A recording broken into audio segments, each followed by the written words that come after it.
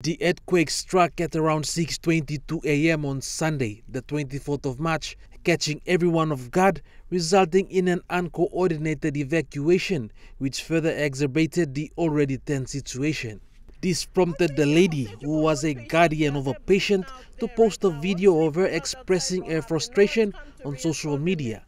Mr. Kaluvia said the video was a reflection of the chaos that ensued when an oxygen cylinder fell and leaked slightly during the quake, leading to this sudden evacuation.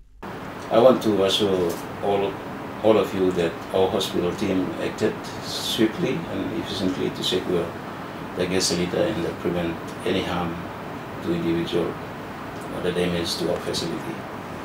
The situation was content promptly thanks to the, the dedi uh, dedication and the quick thinking of our staff. Kaluvia said people must also understand that natural disasters occur spontaneously, hence it is always challenging. It is essential to understand that while we have uh, robust emergency protocols in place for life-threatening situations like the one we experience, uh, challenging of dealing with a natural disaster that strikes suddenly without warning is immense. He also highlighted that the shortage of staff also made it challenging for the hospital.